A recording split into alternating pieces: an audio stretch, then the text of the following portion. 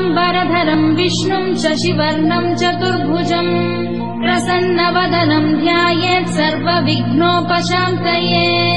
यस्य द्विरदवक्त्राध्या पारिषद्ध्या परशतम् विघ्नम् निघ्नन्ति सततम् विश्वक्सेनम् तमाश्रये। व्यासम् वसिष्ठनप्तारम् शक्ते पौत्रमकल्मषम्। पराशरात्मजम् वन्दे शुकतातम् तपोनिधिम् व्यासाय विष्णुरूपाय व्यासरूपाय विष्णवे।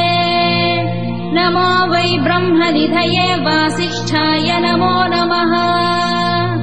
अविकाराय शुद्धाय नित्याय परमात्मने। सदैकरूपरूपाय विष्णवे सर्वजिष्णवे।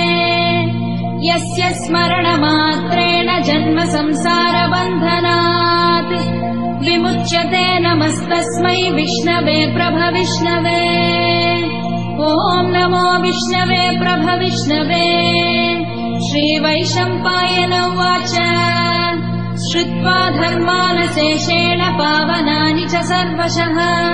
युधिष्ठिरः शान्तनवम् पुनरेवाभ्यभाषत।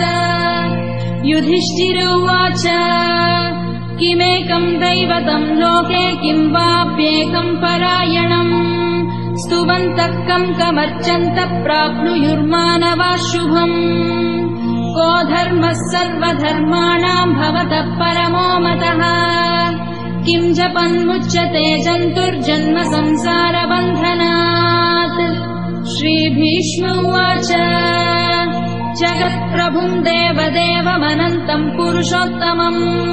स्तुवन्नाम सहस्रेण पुरुषः सततोत्थितः तमेव चार्चयन् नित्यम् भक्त्या पुरुषमव्ययम्। ध्यायन् स्तुवन्नमस्यंश्च यजमानस्तमेव च। अनादिनिधन